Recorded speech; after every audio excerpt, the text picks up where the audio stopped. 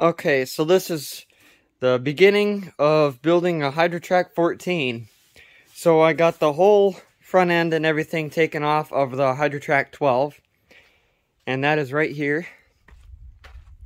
So, oh, wrong zoom setting there. So, this is going to end up going on something else and I can use that in uh, another project. And then, uh, basically the entire front end that matches that that's out there is going to come off of this one and go on here. I just got the fluid actually drained out of the rear end just before I split it in half. And it had really nice looking red automatic transmission fluid. So that was kind of weird because that's not actually what they're supposed to have. But it would work. Um, so this other tractor here, um, something I actually noticed on just now. I thought the whole time I've had it, something looked weird with the hood. But if you see right here, you look at the way it almost looks pyramid shaped on the side. I have never seen that before. And then you look at this other hood, it's more square. So this is the style hood that they always are. And this one here, I mean, it looks like a pyramid on how it's shaped. Kind of, here. See on how it's, it's weird. I've never seen that. I asked the question on Facebook in a group and like a few minutes ago, so maybe at the end of the video I'll uh, explain exactly what's going on. Maybe somebody knows. But I just thought I'd show you that because I thought that was kind of cool.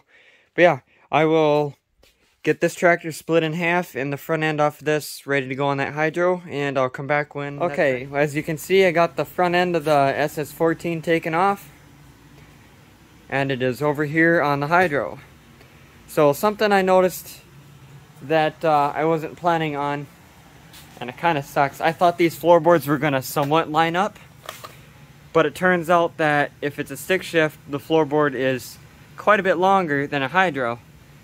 So yeah, I was expecting to have to cut basically right here, but it looks like everything is completely different. So I'm guessing what I'm probably going to do is just have these normal stick shift style floorboards and just kind of put them on like that and it'll just kind of look like that.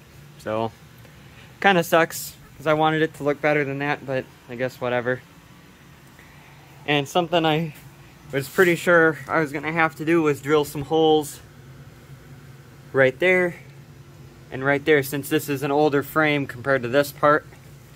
And you can see on the inside that it doesn't quite line up. So I'm going to get a few more things done and okay so you can tell that I got the engine and everything in there.